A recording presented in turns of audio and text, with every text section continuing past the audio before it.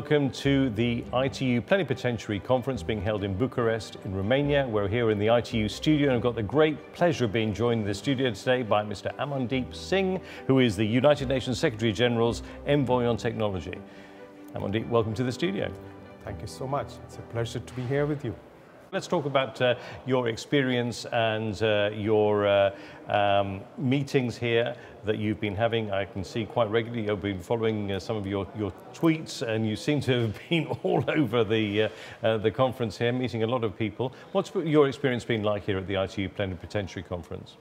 The experience has been fantastic.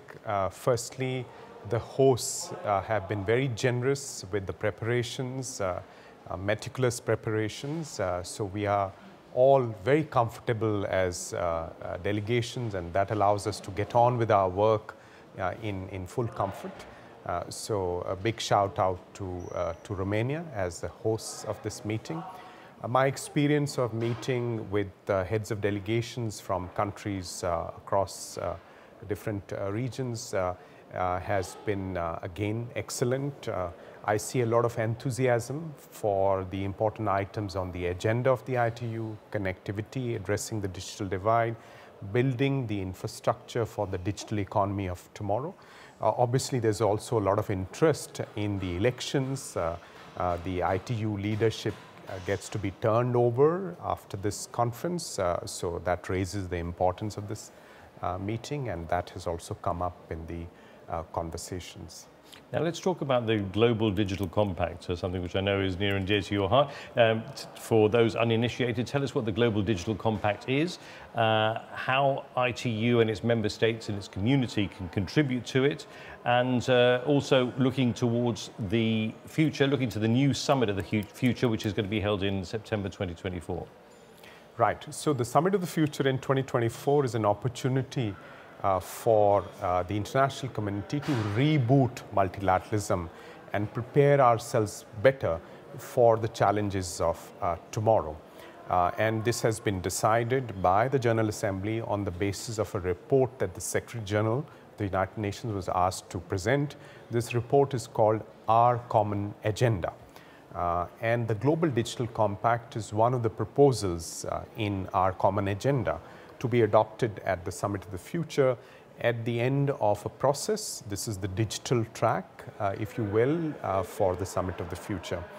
And let me just describe it very broadly because its uh, details, its contours would be determined by the member states of the United Nations. Uh, so what we hope that the Global Digital Compact would be is the highest level capturing of political will so far in terms of a comprehensive view of the digital world, all the challenges, the risks uh, that digital technologies may pose to human rights, fundamental freedoms, uh, human agency, the difficulties around data governance, artificial intelligence governance, but at the same time also the opportunity uh, to drive progress on the sustainable development goals, to connect the unconnected, and to bring technology to the masses so that they can uh, lead better uh, lives. So this is a 360 degree look at the digital world, all its implications, all the opportunities, and how as an international community we can better organize ourselves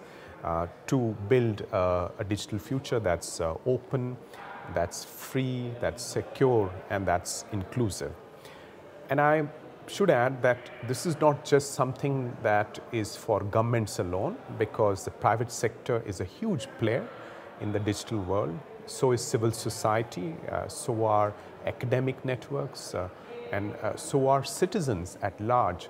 Uh, so this has to be a truly multi-stakeholder effort. It can't only be an intergovernmental effort and we have to bring all these strands together in an innovative way so that these diverse voices from the ground are heard loudly and clearly in New York and the government representatives are better informed as they work towards the Global Digital Compact. And what about ITU and, uh, and how can it contribute, as I say, its member states and, and uh, the organization as a whole to this? So the ITU is a premier partner in the build-up of the Global Digital Compact. My office already works very closely with the ITU on issues such as connectivity. Uh, so we are partners in this project, Giga Connect, which uh, aims to connect every school on planet Earth uh, to the internet. Uh, the ITU is one of the oldest organizations in the UN system.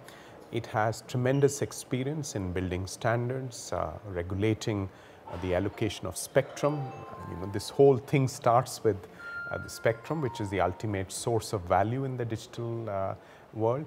Uh, and therefore, we are very excited about the inputs that would come from the ITU into the Global Digital Compact.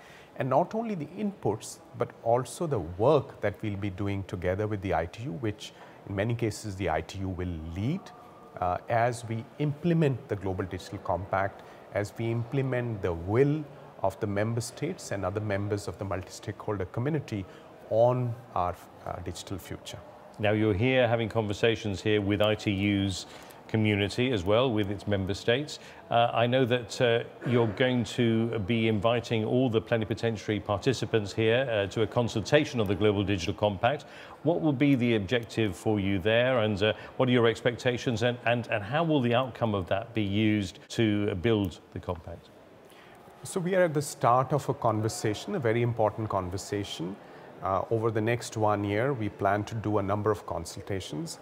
And this is a very important gathering. So on Saturday, we'll spend an hour and a half uh, getting some ministers, heads of delegations, experts into the room, present to them the overall vision of the Global Digital Compact, some of the seven to eight areas that have been mentioned already in uh, New York as being important, connectivity, addressing the digital divide, digital public infrastructure, digital public goods, data protection, data empowerment, um, the uh, international cooperation around AI, addressing misinformation, disinformation, protecting human rights online, etc.